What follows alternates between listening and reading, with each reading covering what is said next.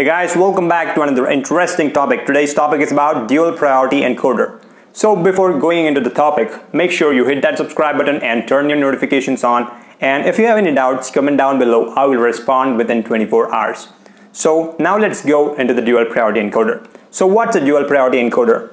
A normal priority encoder encodes uh, a n-bit value into log base 2 of n.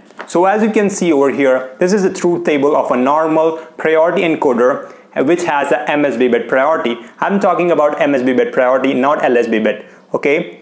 So as you can see, when D0 is high, then we are going to get encoded value as 0, 0, 0 and when 1 and 0 are high or don't care value then we are going to get 0 0 1 similarly we are going to have the MSB bit priority so here 1 is a priority here 2 is a priority and 1 is a priority if this all values are 0 in front of it so as you can see the 7 has the highest priority if 7 is high whatever the values of the d6 d5 or d0 might be the value will be encoded into 1 1 and 1 so that's a normal priority encoder. So normal priority encoder encodes the value based upon the highest bit. So highest MSB priority bit. So here we have 7. That means the 7 is having the highest priority.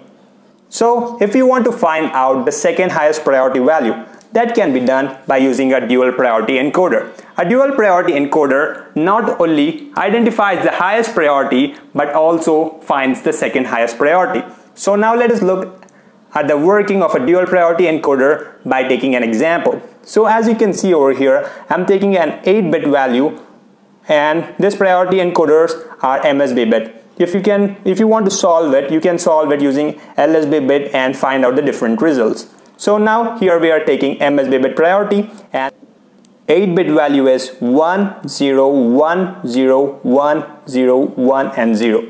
So now we are gonna encoded based upon the priority and which is MSB bit priority. Since D7 is having the highest priority, so we are going to get the value as 1, 1 and 1. So we got the value 1, 1 and 1. So this one will be passed on to a decoder. Mm.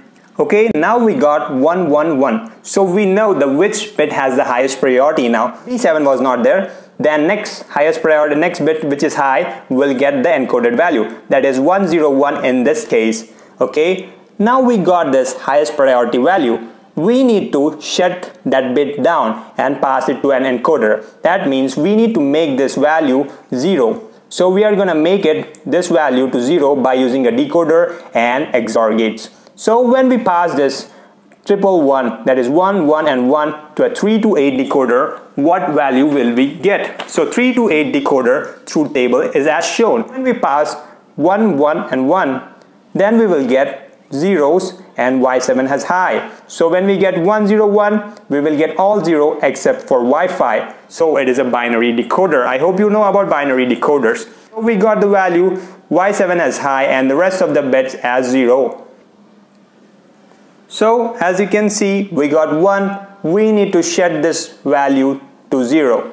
So what are we going to use? So we are going to use an XOR gates.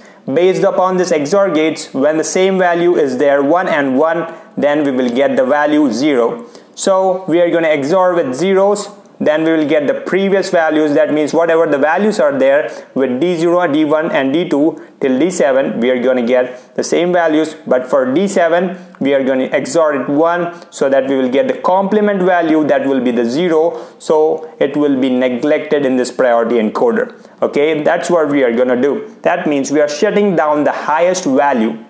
Okay shutting down the highest value is our goal. First we got the highest priority. That's okay. That's d7 we want the second highest priority. That's d5 so to get the second highest priority we must make this value as 0 to make this value as 0 we are going to use 3 to 8 decoder with some XOR gates. XOR gates whenever it have the same value it will make it as 0 as you can see d7 and y7 are 1 and the remaining values are 0 0 0 0 so it will pass the same value. D0 is passed d1 is passed d2 is passed d3 is passed d4 d5 and d6 so these are the inputs which are similar to here okay? So now let's look what's the output from XOR gates. As you can see 1 over here and 1 over here it is 0 and 0 over here and 1 0 1 0 1 and 0 so we got the values i7 is 0 over here see we got the same value but the last bit is made 0 based on this decoder and XOR gates I hope you are getting it. We are using the same input as here but making the highest priority input as 0. So when the highest priority bit is made 0, it will this priority encoder will obviously choose the second highest priority but here it's the highest priority so the value will be 101 there you go. We got the highest priority value from here and the second highest priority from this priority encoder. And if you want to find the third highest priority use the same decoder again here and you can continue and you can find n number of priorities so main purpose of this video was to make you a good designer so that you can solve any designs and create your own circuit. So this is one part of it, uh, dual priority encoder. I hope you like this video. Make sure you hit that like button and if you haven't subscribed, please do subscribe.